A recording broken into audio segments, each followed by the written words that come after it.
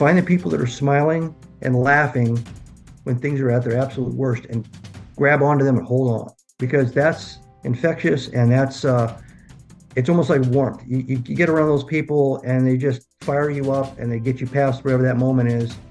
And the opposite is true, right? You get around people that aren't that way and they just drag you down.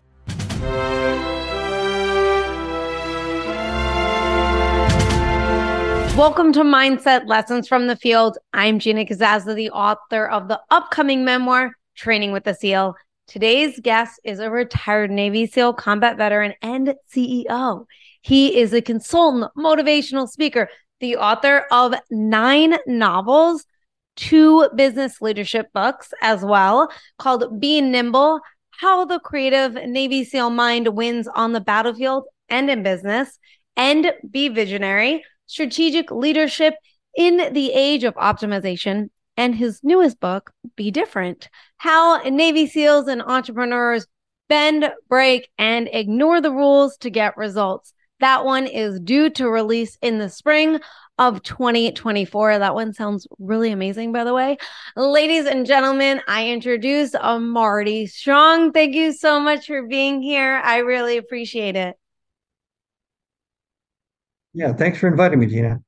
Oh, I'm so excited to have you on the show. So I've been doing some research about you and um seems like you kind of ended up becoming a Navy SEAL like on a whim. You didn't realize um it was like there was mixed up paperwork that happened and uh someone just said to you like, you know, um do you play any sports? Do you swim? Um they asked you questions on um, if people yelled at you and and all this other stuff, and you were like, yeah, and they were like, you should be a Navy SEAL, and you decided to just uh, uh go for that. Um, is that is that accurate? That's pretty accurate. I mean, I didn't know what I was going for because back when I joined, uh, it was still pretty much a classified organization. There was no movies or books or TV shows, so it sounded kind of like a big sports club. and I was 18 years old and uh, you know brand new in the Navy, and the person that was telling me all this was a, a Navy Master Chief Vietnam veteran, and I was a little intimidated and a little you know impressed, and I just kept saying yes, and so and that's how I ended up volunteering. So, at the time, you were 125 pounds. Is that correct? 100 is that 128? Is yeah. that 125 pounds? Okay. And yeah, I was 125 pounds. And um, how was the?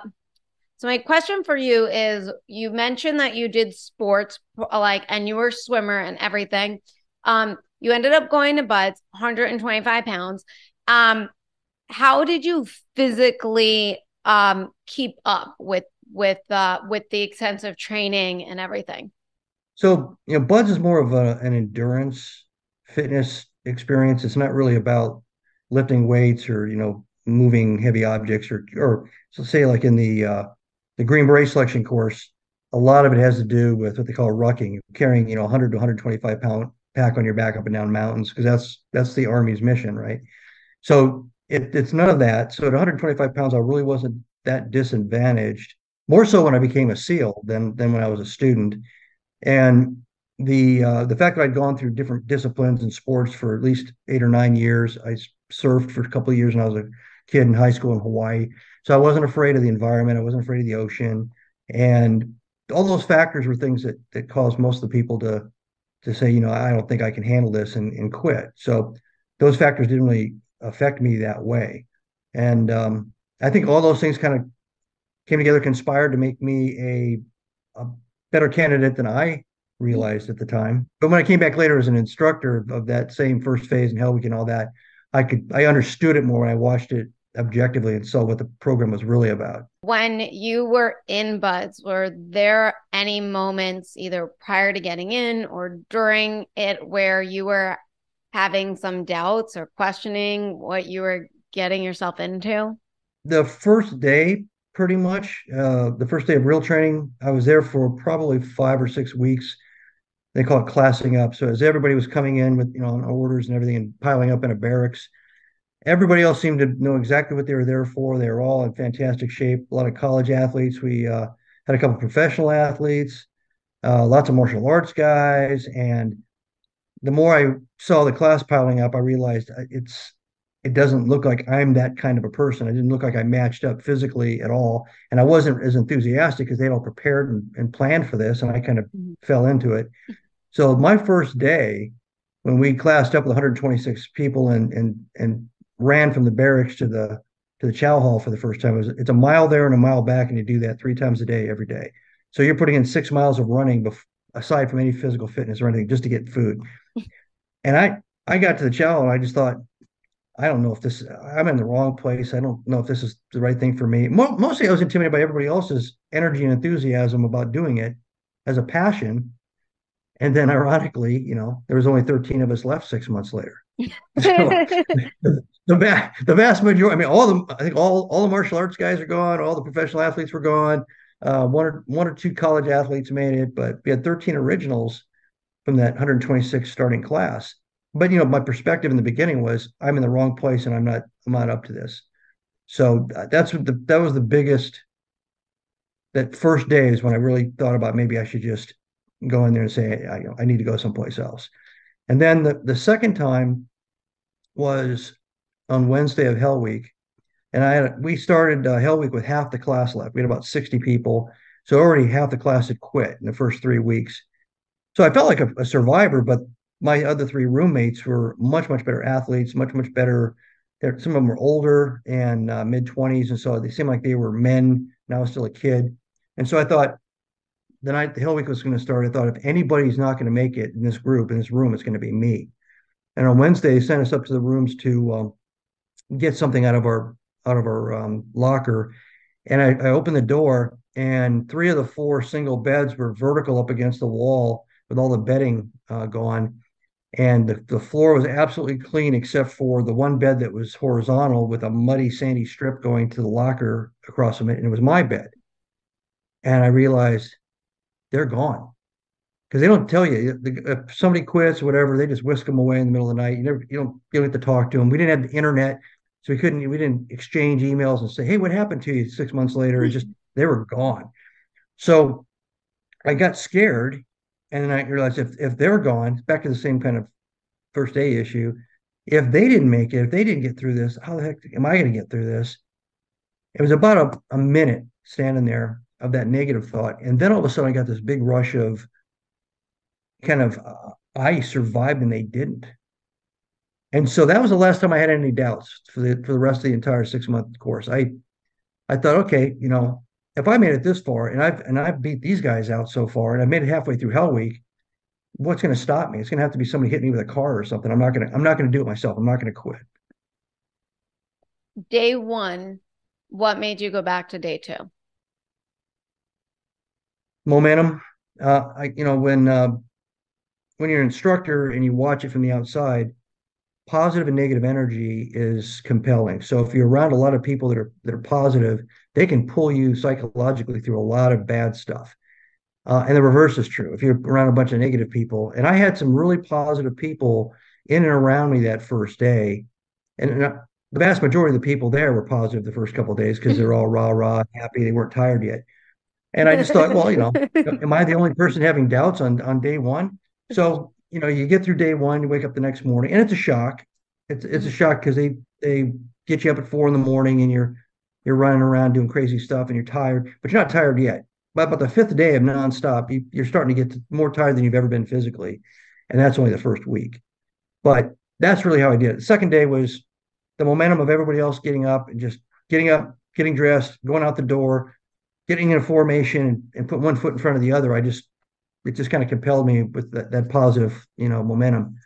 Uh, the problem is when you get towards the end of the the first three weeks and Hell Week's coming up, the class is pretty split into negative people and positive people.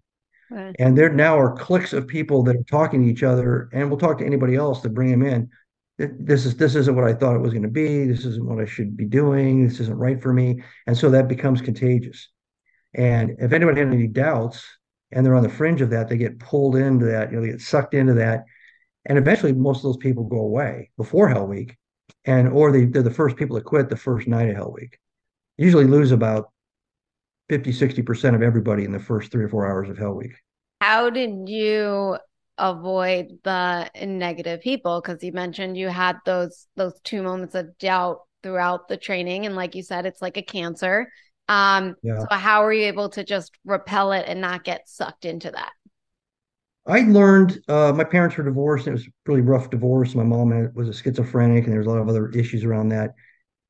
And I had three or four friends, and at the time it happened, I had two friends who were really funny. No matter what was happening to them, they'd make they'd make you know they'd make a joke about wrecking the car that they just spent two years trying to save up money to buy. And and so I decided that I was going to use humor as a way to kind of address the world's you know stresses and uh, and so I gravitated towards the people that were like that. I, I sought those people out, and I've told told people that have come to me in later years and said, you know, what advice would you give? I'd say find the people that are smiling and laughing when things are at their absolute worst, and grab onto them and hold on because that's infectious and that's uh, it's almost like warmth. You, you, you get around those people and they just fire you up and they get you past whatever that moment is. And the opposite is true, right? You get around people that aren't that way and they just drag you down. So I had a natural um, tendency to gravitate towards the positive, upbeat people, the funny people, mm-hmm. and and I, I have a pretty good sense of humor. So that that was a good survival skill that I didn't even know I had at the time. Now you mentioned you run a mile to get something to eat three times. Um, I remember when I was um, doing the Navy SEAL prep school, and um, they ran just everything like to get a drink to and we didn't have to run far to get our water bottle you know to get a drink. And i was like mm-hmm. oh my god does anyone walk and move at a leisurely pace? And i was like no like they don't like even we had to like run anywhere. And anytime we had to run everything was a race no matter if it was a warm up or not. And i was just like oh my god, my body was not prepared for this. Um when how was your body adapting to every like all of all of that physicality? So the the, the chow thing was a two mile round trip so it's six six miles a day monday through friday. I mean on saturday and sundays training wasn't going on so you could walk over there or whatever you wanted to do. Nobody had um, cars and for a while they didn't allow you to drive anywhere so we'd figure out a way to get get something usually in town in coronado. But monday through friday that's five days times six miles. So you've got 30 miles of road running in boots, in uniform, just just as a base, right? So the first week, that's going to tear you down. If all you did was that and you came in in good shape, it wouldn't probably tear you down. But that same Monday through Friday period, you're doing ocean swims and you're doing obstacle courses and every morning you're doing physical training for about 60 minutes where they're pounding you and making you do all kinds of crazy stuff. And you've got runs, you've got you know, conditioning runs, usually uh, two, at least two conditioning runs, and then a timed run is your third run, which is four miles. So you're going to do probably 12 miles of training running on top of the 30, right? So that's 42 miles of running. And at the end of the first week, it's going to feel like you ran 42 miles and besides every other bone in your body and muscle and everything's aching from all the other stuff that you did. By the end of the second week, because you have to show up in, in good physical shape, by the end of the second week, you've kind of, I won't say being, you're not numb to it, but you're not, you're, you're mentally numb to it. Mm-hmm. You're fatigued, you're tired, you're dragging yourself out of the bed in the morning. It, it makes it, it's hard to believe that you're actually going to go on a four or five mile sand run as a condition run after you went to the chow hall and back, you mm-hmm. know, in the morning breakfast but it doesn't stop. It never it never ends. And it's kind of like the constancy of uh, the uh, what you just described. If you're in a constant state of motion, and that's the way you have to always be, you either adapt or you quit. Mm-hmm. And the punishment of not being in constant motion was worse than being in constant motion.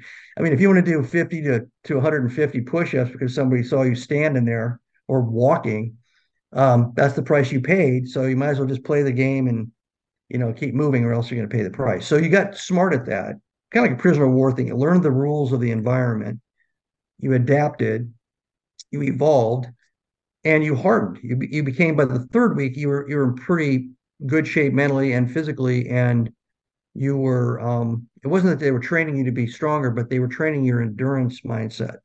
Mm-hmm. You know, most people coming in weren't long, you know, long distance runners. They were athletes in sports, they lifting weight. This was a different thing. This was, you know, like a like a an endurance race or something. It's just long, slow, and never stopping. So, uh, and that brings you right up to Hell Week. So by the time you get to Hell Week, let's say you started at 100% strength uh, physically on day one.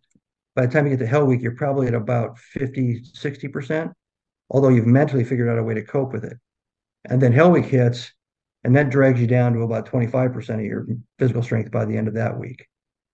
So what you hope is that this is part of the, experiment that, that's been going on since 62 and they actually designed this back in world war ii and a lot of it was was recreated and installed in 1962 for seal training you you enter you enter hell week with a mindset it's either a mindset that i don't know if i'm going to do this or not or make this i've got this is i'm peaking right now on day one of, of hell week or i think i'm ready for this and i'm, I'm not going to quit they're going to have to wake me up after i pass out but i'm not going to quit physically you're going to go downhill for the whole week you're going to get worse and slower and, and you're never going to sleep and all that. But mentally, what happens is you kind of kick into a whole different mode. You start to realize by Tuesday that you can handle it, you can survive without sleep, and you're so tired, but you're still doing it. You got other people around you. Hardly anybody ever quits after Wednesday night in Hell Week, almost never, because there's a certain certain thing that happens to you uh, when the sun comes up on Wednesday morning. That's the last time you get a lot of people quitting. Um, after that, it's it's a rare a rare event. So now you've mentally switched on. They call it going on automatic. You've you've mentally psychologically going on automatic. You're putting one foot in front of the other. Of course, a lot of stuff you're doing, there's safety involved, and you're trying to help each other out, and you're communicating. But you've shifted into a whole different kind of a mindset that you're not going to get beat by this. And not only that, you're going to help everybody around you not get beat by this. And you know they've got your back and they're going to try to help you not get beat by this. And so it's no longer about you and individual survival. Now it's about team and us and how are we going to get to the end. And it all kind of galvanizes. And at the end of the week, you look at each other and it's like combat. You all made it through this crucible mm-hmm. and you're the survivors and you've got some commonalities, mostly psychological commonalities. Today's podcast episode is brought to you by my absolute favorite company. If you know me or seen videos or photos of me, then you know I always have one on my wrist. I absolutely adore this company, discoveromnia.com. Discoveromnia.com is the world's first smart crystal bracelet. Every single bracelet is handmade in the USA using real genuine crystals made on memory wire. Every bracelet is unisex and they're also aromatherapy. The cool part is the black onyx charm that is on the bracelet. It scans to your cell phone, connecting you to their wellness hub Elevate. You can also access their Wellness Hub Elevate on your computer or tablet. You just have to sign into your account. The bracelet gives you a 12 month membership. It has over 200 pieces of self care content from motivational tips, meditations, breathing exercises, exercises around the theme of your bracelet, printable journals, and so much more. The content is ever growing. And that's not all. The bracelet also gives you lifetime access to their Elevate Together Club, which meets monthly via Zoom. Each month is themed, giving you actionable takeaways to elevate your life. And with this podcast episode, you get 40% off your purchase order by using the code Mindset Podcast. Use that code Mindset Podcast for 40% off. Just go to discoveromnia.com. DiscoverOmnia.com, code Mindset Podcast for 40% off. Get your bracelet today. What um was did you find the most challenging for yourself if there was something that was challenging? You know, it's all in first phase. Um so they're a little bit smarter about it these days. Actually, they were smarter about it by the time eight years later when I went back to be um, the head of the first phase of training as an instructor. So you've got sand and you've got salt water, and then you've got cotton clothes, and then you've got friction. So when you put those three things together, it's essentially like wearing pants that have been lined on the inside with with sandpaper. Mm-hmm. You never get away from it, and every part of your body gets chafed, and some parts of your body where there's a lot of um, a lot of concentration of friction, um, you just get you get ripped apart. I mean, you actually get like I had quarter size holes in, in the inside of both of my thighs that you could see down into meat and everything. And then when the salt water gets in there, the sand gets in there, it's almost like you just want to scream because it's so painful. And and that was really tough. And and because of that, you end up doing this weird shuffle thing in Hell Week because you don't want to have any body part rub against any piece of your your uniform, and so you're kind of shuffling like an old man. And uh, I actually um, on Thursday we were all you know we were lining up, and you could go talk to the to the medic, and and this is a long time ago, so they've again they've changed a lot of the rules but there was a line to go see the medic and talk to the medic about your little owies, whatever, a short break. And uh, I got in line, and as I, we were getting closer, I was going to have somebody see if they could do something about these big holes in my legs. And one of the guys who, who was like next in line to go in the door, all of a sudden just turned and started shuffling back like an old man. And as he was coming back, he was saying, "It's a trick. It's a trick. It's a trick. If you go in there, you're done. You're done. They're going to drop you. If you go in there, you're done. I just heard it you're done. Don't go in there. It's a trick. And he, he shuffled past all of us in the line. And then everyone kind of went like, put their heads down. And we all started peeling to the left. And the whole line just turned around and we all shuffled back out to join our class. and it was kind of like that old um, chitty chitty bang bang thing. You know, they, they were going to lure you into the candy wagon, shut the door, and then never be seen again. So yeah, that was the hardest thing for me. That that was extremely painful. I could handle the cold. Uh, I could handle the, the, stress. I could handle being yelled at. I could handle the, the mind tricks. But boy, that sandpaper thing was was pretty bad. How long did that? When did you start healing up a bit? Probably by the end of the second or the, the week after that. Um, me and my swim buddy. nobody's ever asked me this question in this way, but me and my swim buddy. There's a Hotel del Coronado, which is a huge a huge uh, landmark 18, 1890s, all wooden, but massive five star hotel right there near the SEAL teams. And me and my buddy um, actually decided to set up going in there and do a spa thing, like where like massages and sauna, steam room, all that kind of stuff, and even this mud bath thing as a recovery. And we didn't make much money in those days, so the two of us were spending about a third of a month's pay just just to, to have it um, scheduled for us. Mm-hmm for the Saturday after Hell Week.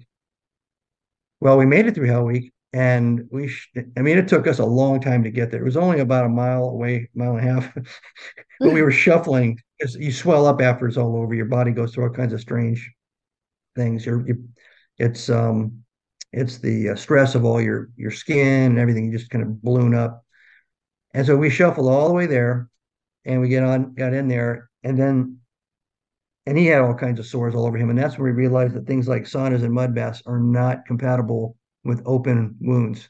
Mm. But we paid for it. so we actually still did it.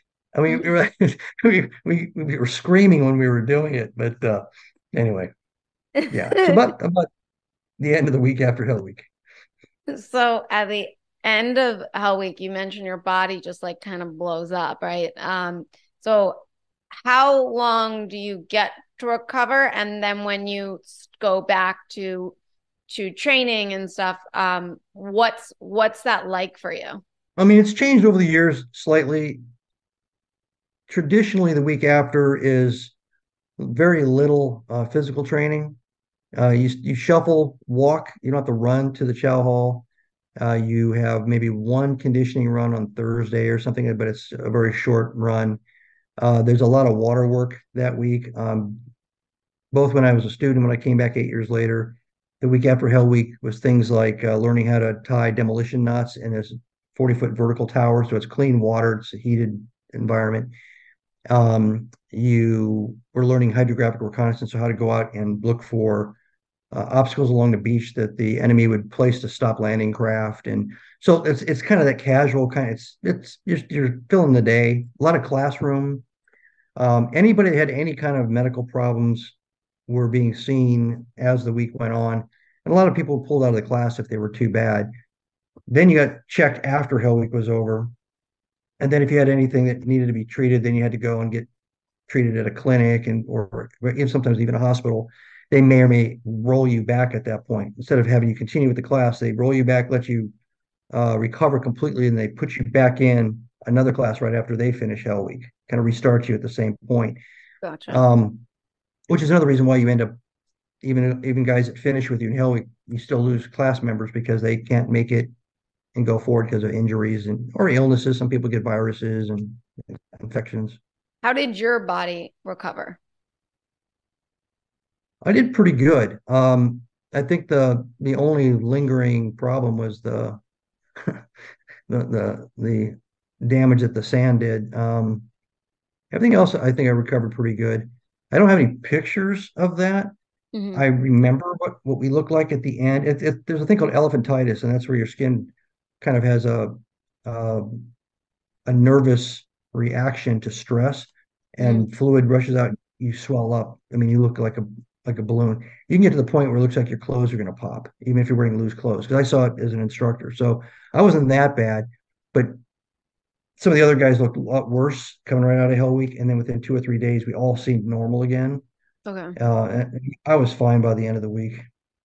Now, how did you keep going? Like, what was going on in your mind, and how did you combat the pain of what you know the the from the sand and all that to just keep going one foot in front of the other, keep doing the drill as the pain physically is really um you know, you're feeling it.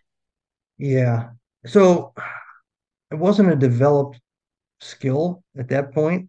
Um, and I was in a lot, a lot worse situations later on as a SEAL. Much colder, bigger waves, more tired, longer, you know, marches. Mean, a lot worse. Mm-hmm. At the time, you think this is it, like this is the ultimate. And after it, it, it, you always look back as that was the hardest thing you ever did. The other problem is you don't know yet how your brain works. So when you're in the middle of it, you're kind of in the middle of the experiment. You're the rat that doesn't know why he's in the in the maze, kind of thing. Mm-hmm. Later on, you learn and you learn how to negotiate that maze. So in this case, the maze represents metaphorically how do you cope with your you know your mental your mental dialogue you know what's going on in your head. And i actually teach and, and not teach I, I, give paid speeches all the time. One of them is called the voices in your head and it's about trying not to listen to the voices in your head but basically be the voice in your head. You run the you run the narrative. So there's a point and, and probably just prior to hell week for a lot of guys for me it was probably in hell week you you're in pain you're tired you're cold whatever it is and you finally just go it is what it is. I'm not going to be able to change it. I'm just going to have to deal with it. So, you know, take a deep breath and, and focus on executing whatever the next task is. Focus on helping the guy next to you. F- focus on not being the burden to the guy next to you. And so psychologically, you shift from any kind of victimhood and you focus on being a part of the solution, a part of the team, and and from time to time, even the leader of the of the situation. And and it, what you don't know you're doing is you're basically exercising the whole reason you've survived hell because that you have psychological resiliency in your makeup the way you were raised or things that you suffered when you were growing up. And it's a strength that you've not really had tested therefore you haven't been aware of it. You start to become more and more aware of it through the rest of BUD/S. And by the time you're you're in the seal teams and they're teaching you seal seal team skills combat skills etc and you're getting colder and you're getting wetter and it's you know but you you realize, okay, I know how to deal with this, and the mission is the focus. The guys around you are the focus. Get the mission done. Get everybody there and back in one piece, and and lead when you have to lead, follow when you have to follow, and and then it becomes kind of a mechanism of your personality. Then you don't have to think about it. It's just it's just your your basic operating system, which for me was probably by the second year I was at SEAL Team Two. So you were kind of um, navigating and figuring out your brain chemistry as well as getting through um, what you were going through at the time. Is that correct? Right. Right. Yeah. If you're not going to tolerate somebody next to you saying this is this sucks, this is really bad, I, we shouldn't be doing this. I don't think we should be. Why would you? If you won't tolerate that, why would you tolerate that the, that voice in your own head?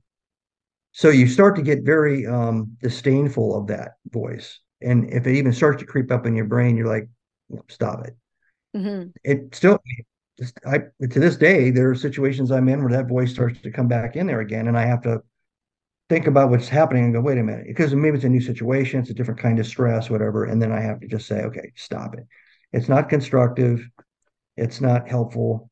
I need to be working the problem and and being, you know, helping with helping other people or leading people to get whatever we have to get through uh, accomplished. When I was um, going through the the prep program, um, I was so miserable. It was so painful, and um, I the way to get me through it, or for myself, I just kept telling myself how much fun it was. I'm like, this is so in my mind. I'm like, this is so much fun, and my brain be like, why are you lying to yourself? I'd be having these conversations like, you're not having fun. I'm like, no, I am. It's so fun. And I would smile a lot. I was always smiling. Nobody smiled. I was like, and when we were in the runs, and I'd be, I was always last night passing everyone, they were like, way in front. I'm still trying to get around the curve. And um, I'd be smiling to them as I was like, you know, like, oh, exhausted, but trying to get through. And I, no one smiled back, but I just remember like that was the only thing that was helping me to like just keep going. And at one point, it started to become fun.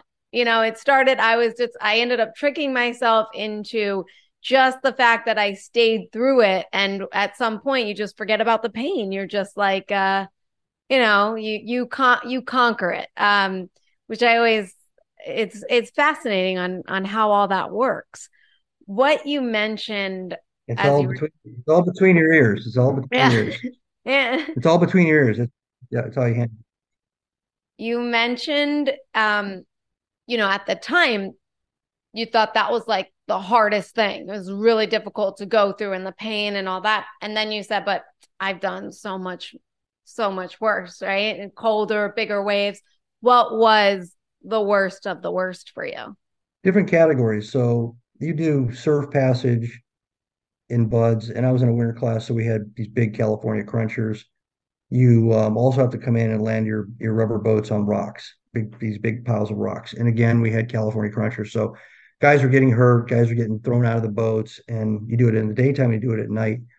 Uh, as an instructor, I watched it, and to me, it was like, like the closest thing to combat because people, guys, are coming in with just terror on their faces because at the at, at, the end of your movement towards the rocks, if the wave gets you right, it just flips you like a hamburger right into them, and all the bodies come flying out of the, out of the boats, and then the waves crash on the rocks, and the guys with you know broken bones, all kinds of crazy stuff happens. So I thought that was just terrible, right? And then uh, probably about five years into being a SEAL, I'm coming in in the night uh, on a little coastal area in Greece, and uh, we don't really know how big the waves are because we can't see them. And uh, there's three boats, bigger rubber boats with engines, and we come in there, and then we start feeling these swells lifting us up, and then we're going down, and the swells are getting bigger. We're going, oh boy, the elevator rides, you know, like 12, 13 feet, and you're going back down. Yeah. And then we get here up in front of us. And uh, we were aiming for a beach that we missed because the, the swells were taking us to the left. And we ended up in about four lines of breakers. All three boats flipped. We all swam, washed, survived our way towards the beach. And when we got there, you know, the boats everything's tied into the boats, but the boats washed up. And we were on a um, a beach that was probably about 25 or 30 yards wide and about 20 yards deep. And then there was a rock cliff in the shape of a shape of it, of a C, a rock cliff all the way around the beach. There was no way to get off the beach other than back into the ocean. And and it was it wasn't terribly cold, windy. It was probably you know 50 degrees, but it was a steady hard wind because of the storm that caused the waves. And uh, we're all sitting there shaking like a bunch of little kittens, and there's nothing we can do. Um, we can't really do anything until the sun comes up, and we got to wait until the, the, waves go down, and we can't climb the cliffs because it was these were really high cliffs. And so within about I don't know an hour, we started getting hypothermia, and we all started jogging. So we jogged for about nine or ten hours we just jogged, all of us going back and forth just to try to stay warm, telling stories or not talking at all. But you couldn't sit down, or you know, and um, but those waves and coming into that rock cliff magnitudes worse than what I had to do in, in BUD/S. Uh, cold wise, um, a three day mission up uh, 300 miles north of the Arctic Circle. Uh, and uh, we uh, got hit by an Arctic whiteout. Lots of snow, high winds. The snow's coming down, the winds kick up the snow on the ground. It just becomes a big, um, it's like a cotton ball. And you basically have a cotton ball in front of your face. You can't see more than two or three feet in front of you. So we hunkered down and um, it took us about a day and a half. And then we came out of that. So now we've been in the field for a day longer than we thought we were. The the extraction helicopters can't get there because of the storm and stuff. We're up on these mountains.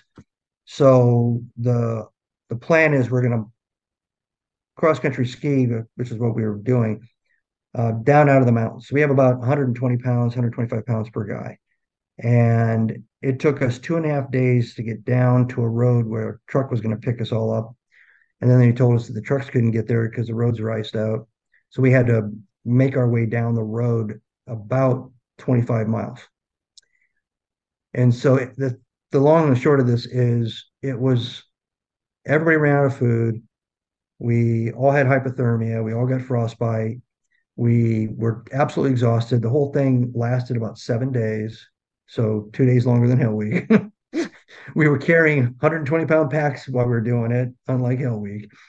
Um, I got dehydrated to the point where I passed out, and they had to start an IV on me.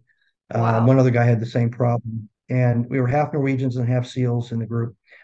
When we got to that road, that 25 miles, the officers made a decision to just go ahead and cross country ski down the road, but it was it was solid ice, and we went down that road at about 55 miles an hour, and every so often you'd hear a and a complete wipeout sound, and we just kept going, and the guys would recover, get back on their skis, and um, that was scary, and we were really really tired. So that was 10 times worse than being cold in Hell Week.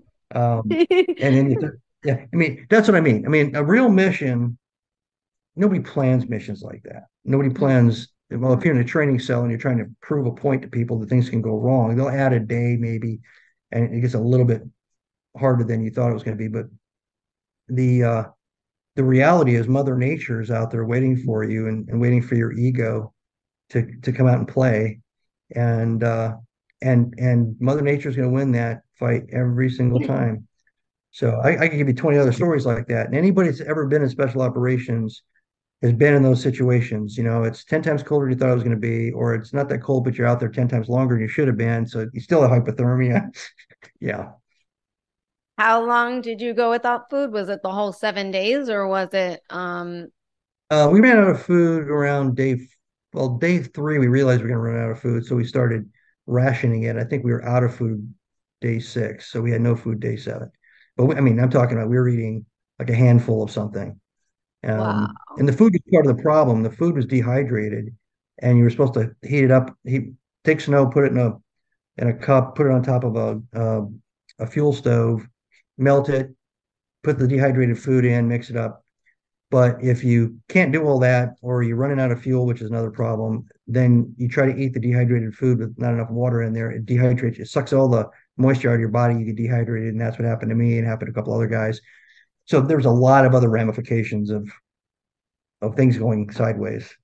How do you push through that that fear, like of of yeah, that's terrifying. Like skiing down ice at 55 miles an hour, you're hypothermic, like you know food, like all of that is like for me, like I um I I'm terrified of the water. And um, you know, when you're in training, well, us, we had to go into the swell and we had to go into the water. And you know, um, Coach Mack was like, the first time I, I said, you know, to tell everyone to go into the water, he's like, I saw the lights go out in your eyes. Like he's like, I was like, I think she's terrified of the water. And obviously, when I ended up being in the water, it was obviously confirmed. Right. Um, but um, it just kind of like you know everyone else is doing it you just kind of don't you kind of shut that mind and you just kind of like get get through it through the fear how does it work for for you to to get through that fear of of everything they're going through was ever a moment where you were like i don't know if we're going to make it Well, it's any it's like any other habit or any other behavior that's practice. So I mentioned earlier, you're not really aware of it when you're going through the selection process. You're kind of aware by the end of the selection process that you're you're thinking differently than you, you did, and maybe you think differently than other people do about hardships and things like that.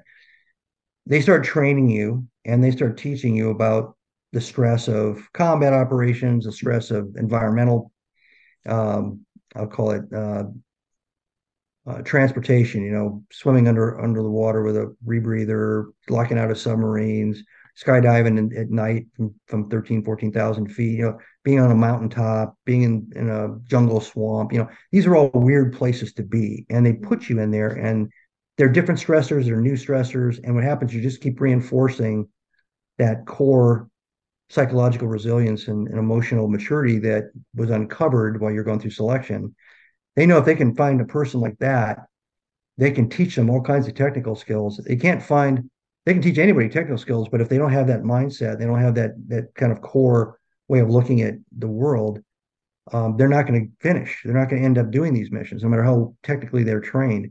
So they start with that. They don't try to make you into a SEAL. They try to reveal the, the SEALness about you through the process. Then they just start training you uh, technically and then environmentally and the vi- environmental part is what keeps stressing your limits so it's it's not you don't go from being cold for an hour to being cold for seven days it it, it kind of builds on itself. Mm-hmm. and you eventually get to a point where you're not sure what your limits are if you have any but it's the same thing. It is what it is. I got a job to do. People are relying on me. And if i'm following i, I want to be doing what i'm supposed to be doing in support of the team. If i'm a leader i want to make sure i'm leading and doing what i'm supposed to be doing in support of the team. And that's what you fixate on, not not your your uh, physical uh, frailty of the moment. What are some of the tactical stuff that that are taught? Like once you have that, you're the person that has that mindset that you know, and then you said they teach technical. Like what are some stuff that that are taught? The Navy's different than say Marine um, MARSOC spec ops guys and Rangers and Green Berets and a lot of like SAS and SBS in uh, Britain. Most of those other groups start with infantry. They start with somebody who's already trained how to carry a rifle. They, have gone through boot camp as infantry. They've gone through basic infantry school. Most of them have gone through advanced infantry school. They know how to shoot. They know how to patrol. They know a lot of things. They know how to use radios. Um, they know how to take uh, direction under fire. So that's their starting point. These guys show up at the say the SFQ course for the Green Berets, and they've already got that. SEALs start with basically civilians. And if there's anybody coming from the fleet, there's somebody who was on a destroyer as a sonar guy. So you have to start from scratch. So that's why the first part is all about the psychology to make sure you're you're working with the right, I guess the right stuff. Mm-hmm. And the other two phases teach you uh, one how to how to dive, so scuba diving, first with with open circuit air tanks, and then eventually with more advanced rigs that are um, recirculating what you're exhaling, and and there's no bubbles, so they're more tactical. You're learning all about diving tables and, and all that. You're also learning basic tactics about how to attack ships. So using those those diving rigs to go do the mission or to take you into the to the target area, and then you secure the the diving rig to to a pier or something else and then go ashore to do something else and they come back and use it as your as your vehicle to get away um, and you learn the basic level of that and then you go into the phase where you're learning about patrolling basically all the infantry skills patrolling map and compass work um, how to shoot probably about five different weapons in the basic course um, demolitions so you learn about blasting caps and electrical firing devices and all kinds of TNT, all these different kinds of explosive materials. And then how do you actually use them and all the formulas and all that. And then you graduate, right? And then the next phase, which is about four months long, takes you to the intermediate level. So now you're doing much, much more advanced diving. You're doing diving in harbors. You're you're doing complicated um, navigation courses using uh, navigation boards that you're that you have in your hands, and you got time and distance that you're calculating. Um, you're planning missions on the on the ground. You're you're learning about um, you're jumping out of airplanes. You're learning how to fly in formation um, under canopy and, and land as a team. and, and then go do your job. You're sliding out of ropes out of helicopters and doing the same thing. So you, these are all other things. You're probably picking up another 12 to 15 weapons that you have to learn. And you become a whole different level of proficiency where you had to be close to, if not expert with those first five weapons in the basic course at BUD/S. Once you get into the intermediate phase, you have to be expert at 20 weapons mm-hmm. and, and, not sort of kind of, you have to be an expert at, at how to how to use them, fire them, what their applications are, when that particular tool is the right tool to pick out of the toolbox for that particular mission, whatever. Um, so that four months is is really a ramp, but it's building on the basics of diving and the basics of land warfare, infantry type skills and weapons. Demolitions gets a little bit more advanced, not that much more advanced. And then you show up at your SEAL team. And in that SEAL team, you are assigned to a unit. And in that unit, they have a schedule of what they're going to do and when they're going to go overseas or be on a ready status. And so they have 26 weeks, 23 weeks of constant training every single week they're doing something and they'll be going to destination destination so depending on the team if you're focused on desert or if you're focused on jungle or you're focused on say northern europe and all that you're going to go and you're going to train in in in um, canada Are you're going to train in labrador Are you're going to end up going to norway or you're going to go down to central america and you're going to go to um, south america and you're going to train down in those environments or you're going to go to the desert so now you're doing all the same skills you learned in the intermediate, but now you're really in the environments, the actual environments that your particular SEAL team is focused on. And you're maintaining whatever proficiency you had coming out of the intermediate course, and you're trying to build skills, but now you have to learn administrative areas. So kind of like the Green Berets, you have to learn how do you run a diving operation. So you become a dive supervisor, or you become a support guy that fills fills the tanks or drives the boats or you're a jump master or you're the guy that's that's organizing and and telling the helicopter where to put the, the rope down so everybody can slide down safely. So you start picking up all these other side jobs that are administrative, but they're how you get it all done as a group. And then you end up being in that final status. You're either deployed someplace and you're practicing the whole six months you're deployed, or you're on a ready status and you're maintaining your peak. Mm-hmm. So that's kind of the whole cycle from day one of BUD/S all the way through. And you haven't necessarily been shot at, but you've seen a lot of stress. You've gone through a lot of physical and mental stress. You've had a huge amount of mentoring and coaching going on from people around you that have had, you know, upwards of 15 years doing this thing. And they are trying to make you the best you can be. Because the saying when I first got in holds true today is the old guys used to say that we'll we'll train you, but if you've got free time, you better keep training with wherever you think you're weak in, because when that phone rings, we all go with what we got and who we have. So as good as you are, and the people around you as good as they are, is what you end up going to war with when the phone rings. So you think about that for a second, and you go, okay, I need to get a little bit sharper. I mean, I, I bought a pistol and practiced pistol shooting on my own because I really stunk at shooting pistols. I mean, all of us were doing that. All of us are trying to do extra stuff all the time, trying to get better in uh, eliminate our weaknesses, etc. For that very reason, because you never know. And, and, after you go through it a couple of times, that phone does ring, and you realize you are going. That the band that the band you have is the band you have, and if they if they they suck, they, they don't play well, that's what you're showing up with, you know. Where did um wh- where were you uh training in the world? I mean, you mentioned the you were you had a mission in the Arctic, but like where were you um training throughout the world? Well, my first command was all Northern Europe and uh, Central Europe, and that was eight years. So that's that's where I ended up doing a lot of the Arctic work. Um, we also did lots of kayaking, um, a lot of underwater uh, combat swimming. Was called diving with oxygen rebreathers because our counterparts, uh, the Germans and the French, were very very good at it, and they were training us. They had people in the United States helping us get better and better, and then we work with them in their countries. Uh, we had the British that were very, very sharp in a lot of different areas, hostage rescue, things like that. So we'd all we had strengths, they had strengths, and we'd work together. Um, the next team I went to was Central South America. So basically, that was the exact opposite. Instead of carrying 120 pound pack, you were you're hardly carrying anything, and you were instead of freezing, you were you were dying and and losing water water weight because you couldn't keep it going because you're sweating so much and then you had the bugs and the critters and all that kind of stuff. And weird kinds of swamp environments and um, 18 foot tidal changes and just a, a, totally odd, different environment. You know, it's not the tourist, the tourist Central America. It's not like Cancun. It's it's like being dropped in the middle of nowhere jungle, and and you can't move at night because the jungle is 100% around you, and if you and there might be a hundred foot cliff, and you won't know it until you just go, ah, you know. So you can't. You know, so, it's a whole different kind of environment. Wow. Um, um, you ever um you ever come across any um yes like I mean to me like every animal can be a threat. Um so any animal any animals is that uh you know kill you. It, it's not so much the animals. There's these things that uh referred to as parachute ants that were in I think Panama and uh, what they do is they cling to the v- vertical vines and they use them as a sensor system. And so if an animal or anything passes through, they release from the vine and they have membranes, so they float down and they land on the critter that caused it.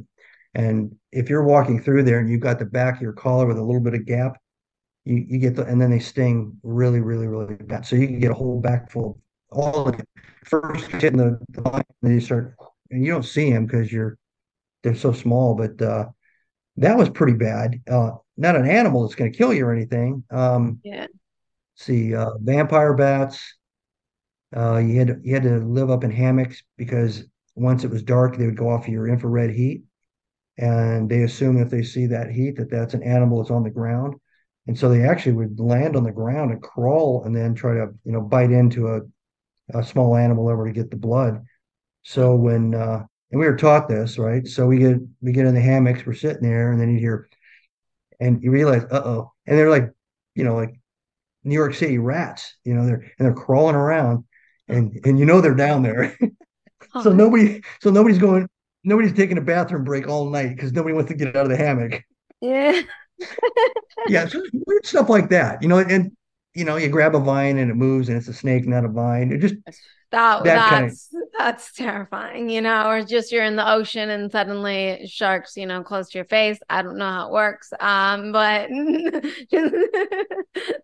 that that's the kind of crazy. I mean, one shark, one shark, one time, and uh, it was it was an odd.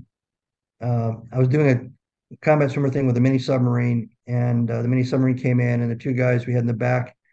Um, I took them into the end of a pier tip escorted them there, and then they were going to go to the very base of the pier and put some fake explosives on a Coast Guard cutter. They were supposed to be an enemy boat, and my job was to wait at the end of the pier. It was a, these kind of like telephone pole type um, piers, and wait for them to come back, and then escort them back down to the mini sub because we had a a um, like a wire cable that we ran from the mini sub up to there, and I tied it off so we could find our way back and there was a yellow light at the end of the pier. You could kind of see about maybe 10 feet out at night.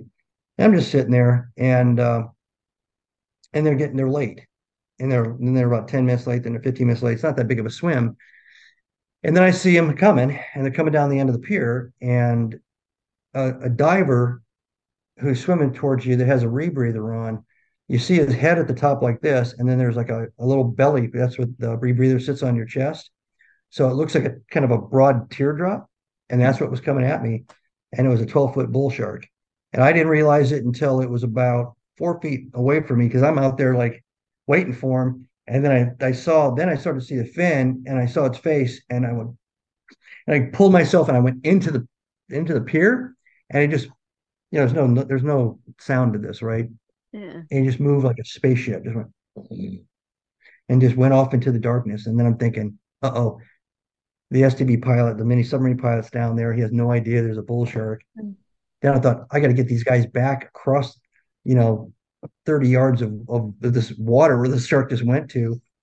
And then, uh, and then I wondered why they were late. like, well, this is all going through my head in about 12 seconds. And then one of these guys grabbed my shoulder and I pissed myself.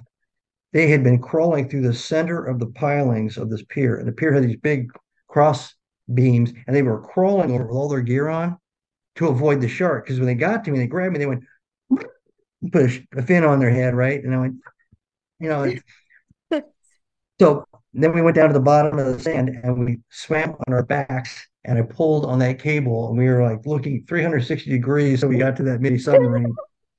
and I get in there and the pilot looks at me and he goes, What took you guys so long? He had the canopy open, his arms out like he's he's at the drive-in movie or something.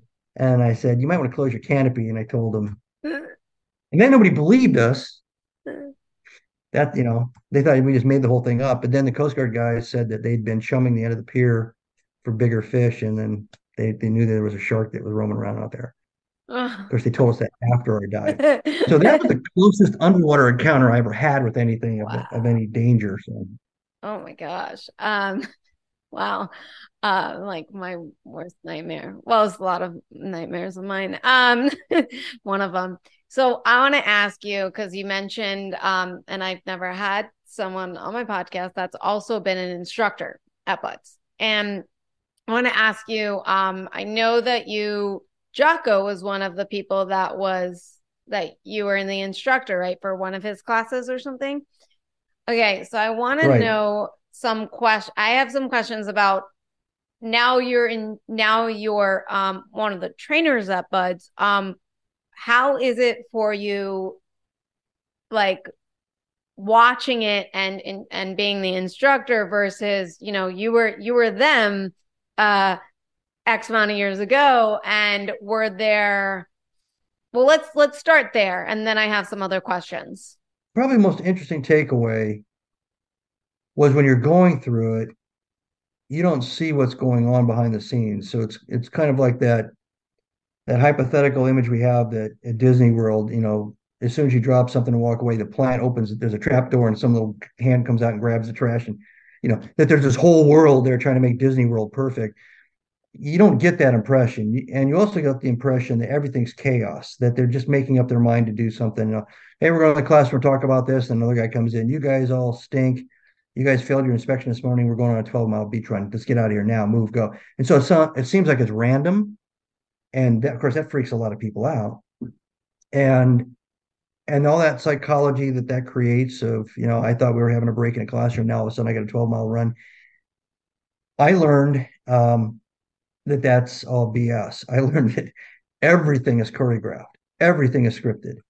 Uh, Hell Week had a book this thick, and every single thing that was done in Hell Week was choreographed. It had equipment lists, it had time time checklists, it had quality standards, it had safety standards, it had medical oversight, and I had no idea it was like that.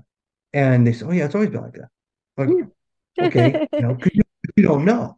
So you do an evolution where you go out and you do some kind of training, and you don't even realize how many people are actually have eyes on you. You don't know that there's a medic staged around the corner. You don't know that there's an officer in charge, you know, 20, 30 yards away with a radio getting the feedback on how things are going. You have no idea this is all happening, you know, and it's kind of like a movie set. Uh, the very first event, my first day as an instructor, was the 14 mile run, which is 14 miles, so seven miles down and seven miles back on soft sand with boots. And I walked in there and there was this big long board and it looked like a Candyland map. And I'm listening to this briefing. It sounded like we were going to go kill bin Laden or something. It was this incredibly detailed mission briefing. And there were like 20 people involved in this. And there were water stops and there was medical stops and there was radio checks and there was different staging points and there was rally points. I mean, it was crazy. And yeah, well, that's how it's always been done. really?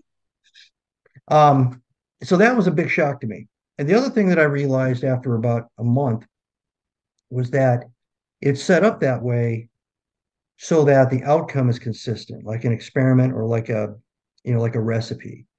Because if you let the instructor just randomly do whatever they want to do, what or even do what you're they're supposed to do, but do it longer than they're supposed to, you get all kinds of unintended effects. Um, for example, one time in Hell Week where I was the um, I was the officer of after I came back later as an officer um, of a different phase, the land warfare phase, and we are getting ready to relieve a group that had been up all night. So they were there from twelve to four, and I come in with my team and we're going to relieve them, and we just hand off the students. And there's a logbook. You're writing everything down, every minute that happens. Anybody that quits, there's a you have to write down everything, who counseled them, how many times they were counseled, and all that. Like I said, it, it's very, very um, controlled. And the, the students were at the on a beach on the bay side of San Diego, and they were in a big pile and they were sleeping. And so we came up there and said, "All right, you know what's going on?" Well, we can't get them to wake up. So, to cut to the chase, what I was able to figure out, and eventually the rest of the people at BUD/S were able to figure out, is that the group that was before us, the officer in charge wasn't from the first phase and didn't understand this idea about you can't change the recipe, you can't mess, mess things up. And they had pushed them too hard the night before. They did things that were very, very, very uh, difficult and very, very exhausting for three or four times longer than they should have. And the whole thing is, is set up so that you're just on the edge of exhaustion. Mm-hmm. If you take them down below that edge, they shut down. They're human beings. And and then you can't do anything. Then then they get they get to sleep because you can't wake them up. It took us about 15 minutes. We peeled every person, there's probably 25 bodies. We peeled every person off and had to wake them up individually and because they'd gone into a deep sleep. I mean, they were, they were deep, deep, deep. That we blew whistles. It didn't matter. we yelled. Nobody moved, and it was because somebody over, overdid it. They messed with the recipe. So that was an interesting thing to learn. And um, and then the third thing, which I alluded to before, but you were talking about your eyes are smiling. Every every instructor in first phase of SEAL training can tell you in a in say about the middle of the second week who's going to quit and who's going to stay. That was one of my questions. I wanted to know. You could tell because you can see it in their face. You can see if there's a twinkle in their eyes, or when you look at them, they look at you like they're the predator. you go, okay, you know. But if you look at people and all you see is somebody who's already decided they're a victim of this and they're trying to figure out the best, most honorable way out, and it gets worse as time goes on, and it's more and more pronounced. You could actually, by the end of the second week, probably go up on a board, and we used to we used to put stuff up on the board. You know, we, this I think who who I think is going to quit or whatever, yeah. and um, you'd be like ninety five percent correct, and then if you weren't 100% correct, the 5% that you were wrong, they they make you right by the second third hour of hell week. so they quit then.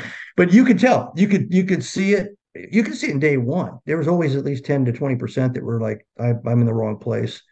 Um, the twinkle is the important part. You, you're talking about smiling, you know, the uh, back to being infectious, an infectious kind of behavior. Um, it's hard to feel like a victim if you're smiling. It's hard to feel like it, it that the world's happening to you if you're smiling. You know, you're I'm here because I chose to be here, and I'm doing what I'm doing because I wanted to do this and I'm going to tough it out because I decided that this is worth getting through. Mm-hmm. And so those are all positive choices, and it's the voice in your head saying, "I'm here for a reason. I'm here to, you know, I'm going put one foot in front of the other." And um, and then the exact opposite facial expression on somebody who's already decided, no, yeah. So you learn that it takes it takes a little bit of maybe by your second class you can pretty good at it. By the third class that you see you're you're an expert at it mm-hmm. by the time you've been two years as an instructor, which is the tour length, I mean, you're almost like a psychologist. You can you can look at body language. You you can tell quickly. You can tell the officers that are falling apart. You can. It's just because you're just there. You're there as an observer. It's like you're a scientist watching this experiment day after day, after hour after hour, month after month. Could you, um, after doing that, like now in civilian life, like assess people? From like just like an everyday civilian yeah. from from all that?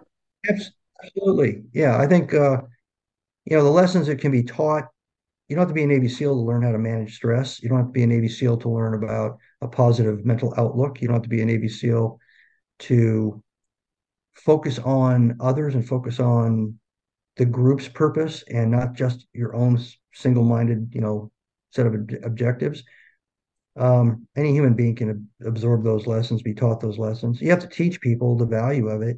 I think you can um, you can do scenario based training in business, so to speak, and and do practice um, stress level engagement. You can say, okay, we just lost our number one supply chain uh, vendor completely. You've got an hour to figure out what we're going to do, and you walk out, and they've got an hour, and they if they've never done it before, they're they're freaking out for the first five minutes or ten minutes.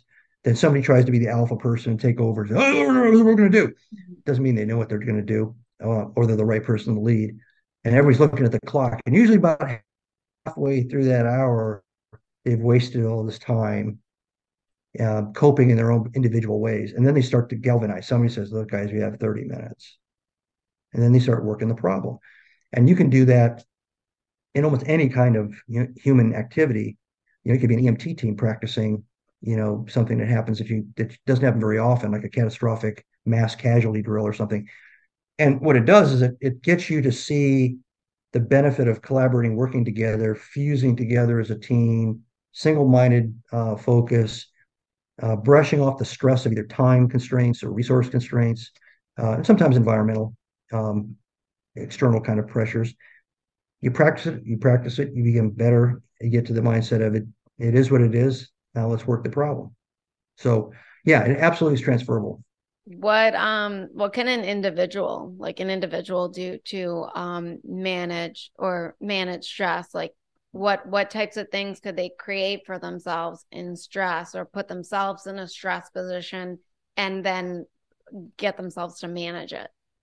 I'm a, I mean, i've been a lifelong learner. I'm i'm always in about 12 books simultaneously. I i seek out advice and mentoring from other people. So i would do that. I would i would whatever the areas that you think the stress is going to be related to whether it's professional personal you know relationship issues try to find somebody that's gone through it before, mm-hmm. kind of like we're having this dialogue here. What did you do to handle it? You know, um, we lost we lost uh, um, our oldest son when he was 22, 17 years ago. Talk to people that had gone through that before. How did you deal with it? How did you cope with it? You know, that's one of those things where the voices in my head. I had no stress pre- protection or practice in that, right? Yeah. Um, and then later on, I was able to, to help other people who had the same thing happen to them with you know some insight. And there's so there's always somebody out there that's probably walked in the shoes you're about to walk in. And and normally people are willing to help and give you some insights. And if you talk to five or six or seven people that have gone through something, pretty much you get the common wisdom, and it's pretty close on how do you survive, how do you cope, how do you get through the issue, how do you recover, or how do you prepare, and that that's just kind of a life learning kind of a thing. If you open yourself up to that, you become less vulnerable, less fragile. And then when the real thing happens, you're better prepared. Well, is there any lessons that you because you you went into BUD/S at like 18, right? You were like right, right young. And um mm-hmm. what lessons did you like learn from there that carried carried you on and then and helped you in the civilian world that like something that us everyday civilians can also um you know use. Well there's a saying it's not about me it's about we. And i and i saw in my time as an instructor more than than as a student when you put somebody in charge they stop thinking about their own problems.